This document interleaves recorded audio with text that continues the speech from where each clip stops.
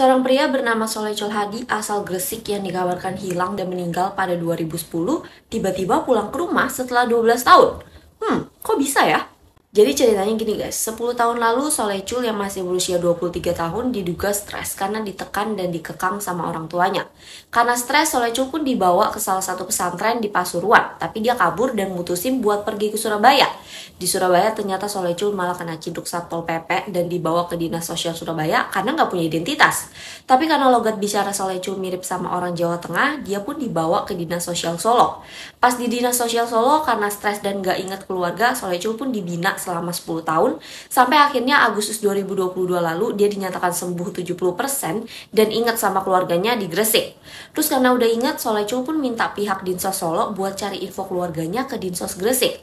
Akhirnya Desember ini Dinsos Solo berhasil menghubungi keluarga Solecul dan dia bisa pulang lagi ke rumahnya meskipun kedua orang tuanya udah meninggal dunia. Kalau menurut kamu gimana nih cerita si Solecul? Coba komen ya.